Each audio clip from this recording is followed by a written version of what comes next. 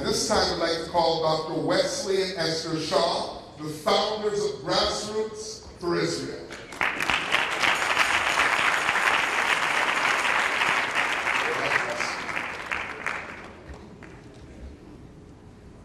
Clap your hands, all ye people, and shout unto God for a blessed victory. Hallelujah. Hallelujah. Hallelujah. Hallelujah. Thank you, Lord. You may be seated. I'm somewhat intimidated by all of the eloquent speakers, but with God with you, nothing is impossible. Amen. We uh, we received a call uh, a few months ago, and uh, on the other line was a man that uh, he said on my cell phone, Dr. Shaw, you're coming to Vegas to speak. And I thought it was somebody joking with me. But I found out that the general is in control. General Leibowitz. Let's put our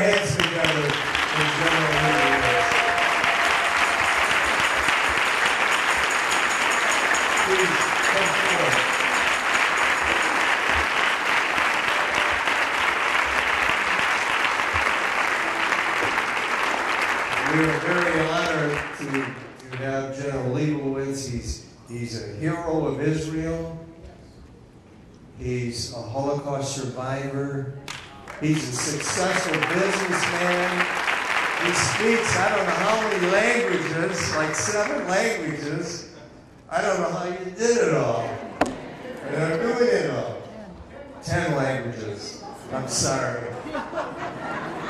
I'm still, I'm still taking the Pimsleur course on Hebrew. My wife wakes, wakes me up and we do that. Thank you. But we had a wonderful time. We spoke with, with Holocaust survivors in Las Vegas. And I also want to honor, would all of you Holocaust survivors down there, would you please stand? We are proud of you.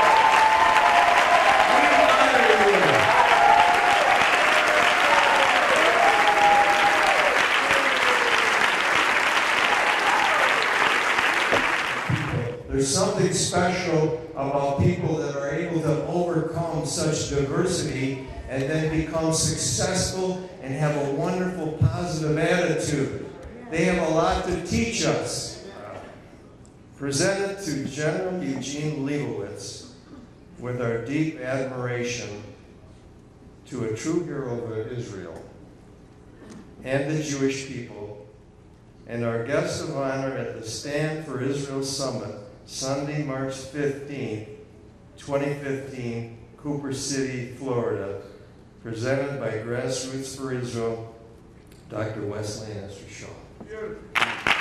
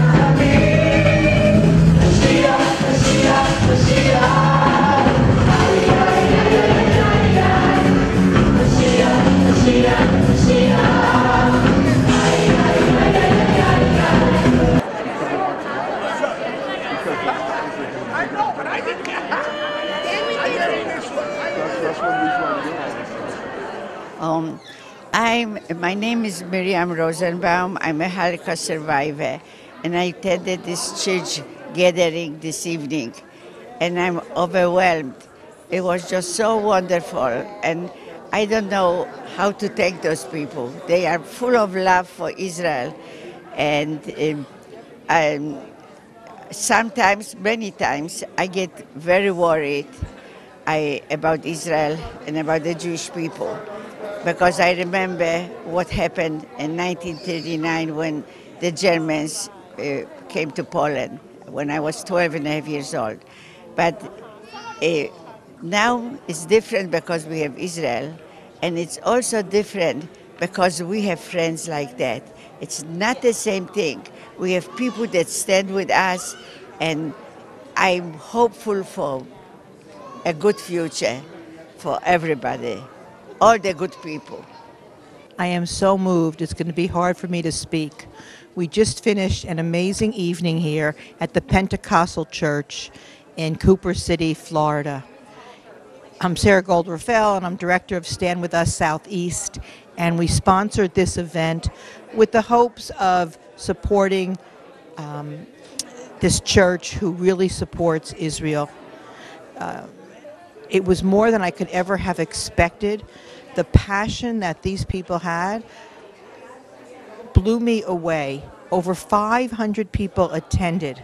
We've been running a summit for three days. We had panels on anti Semitism, Learning Israel 101, our Stand With Us booklet.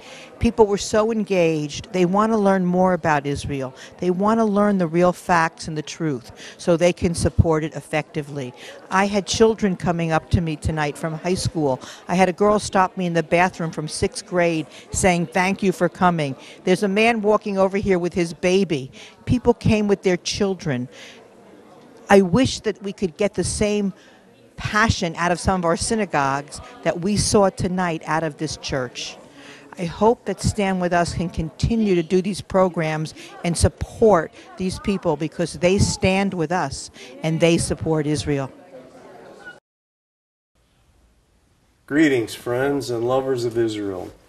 This is Dr. Wesley Shaw, and I'm speaking to you in my home today because I want to open my heart to you and speak about the passion that we have to support Israel. We had thought for years that we really didn't have the talent to do anything for Israel, but after we went to Israel and we walked the streets of Jerusalem, there's something that clicked in my soul. And on the way home on the plane, I told my wife, uh, we may not be able to do much, but we're going to do something for Israel. Uh, and so began a, a long journey, and uh, we prayed to Hashem for help uh, because we knew we couldn't do it on our own.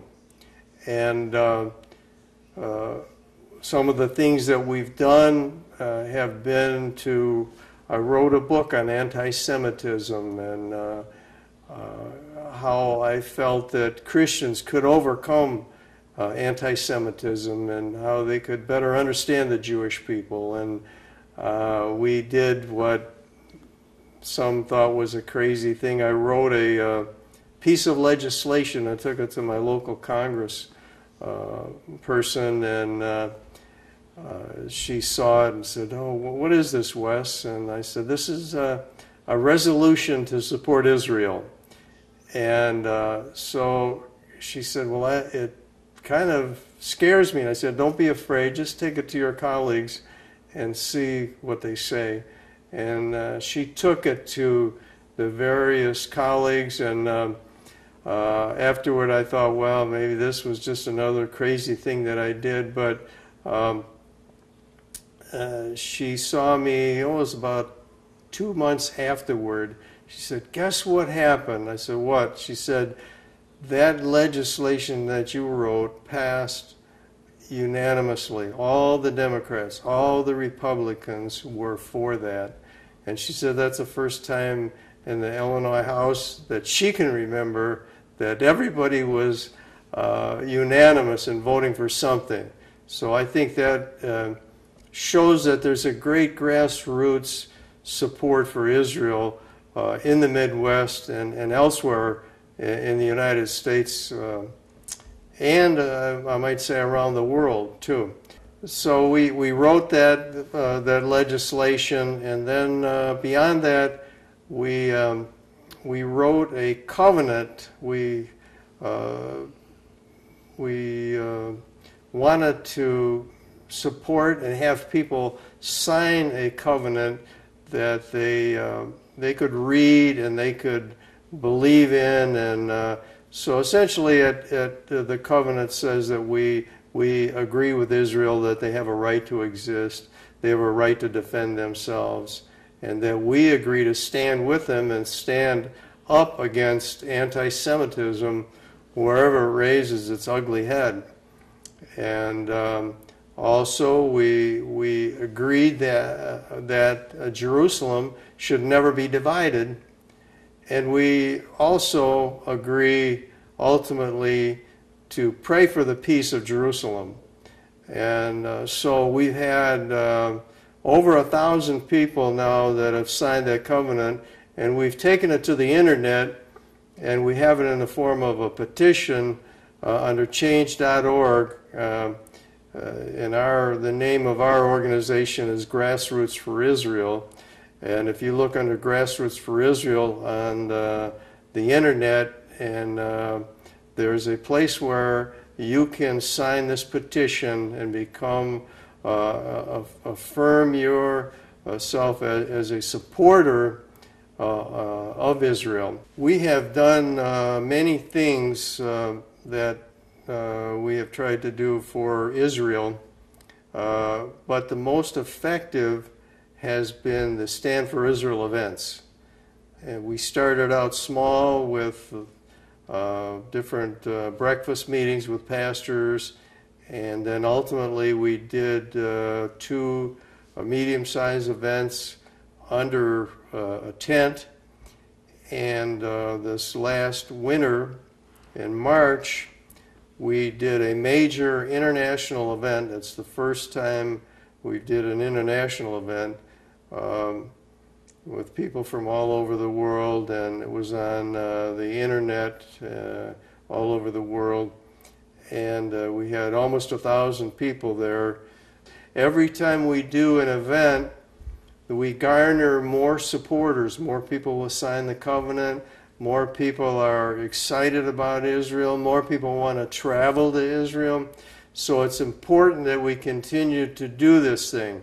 Um, we have people, we just had a call today from Minneapolis. The pastor and leader from that state wants to have a, uh, a Stand with Israel event uh, like the one in Florida. We have uh, someone in Kansas City that wants to do a similar event. We have one scheduled in Chicago, and we have a pastor in New York. Uh, we have folks in California. So there's huge potential of raising many hundreds of thousands, even millions of uh, Pentecostal Christians to support Israel. And so this is our time to do it, but it costs a lot of money. The event in uh, Florida cost uh, almost $20,000, but we had a very generous uh, anonymous gift of 10,000 and then other smaller gifts the church was generous in, in what they did in providing food and, and uh, different things. And so we had a very successful event. So we have a model to go by. We, we've been doing this and we know how to bring uh, the Jewish and Christian leaders together and uh, build a coalition of support. And uh, so we're excited. We have a great passion that out of this, we're going to reach many, many people, and we're going to help Israel to survive. But we need people like you that will partner with us, that possibly will give, like this one uh, uh, person gave 10,000, or maybe uh, you could give 5,000 or a 1,000 or maybe some benefactor could give a larger amount. We're very good stewards. Uh, we personally haven't taken any money for ourselves. It's all gone toward producing the events, and uh, we just have such a great passion. We see the potential here, and uh, we hope that some of you folks will also likewise join with us. John, John F. Kennedy once said, um, speaking about a time of crisis, he said, if not us, if, if we won't do something, then who will? And if not now, then when? And these are the questions that I'm asking now. If, if, if we're not going to do it, who's going to do it? And if we don't do it now, uh, the enemies of Israel are going to get the advantage. And uh, we don't want to see that. We want to see Israel be successful and, uh, and the Jewish people survive. And uh, we believe it is the will of Hashem and that we're, we're doing His divine will. Thank you so much for, for uh, listening to us. And um, shalom and blessings to you.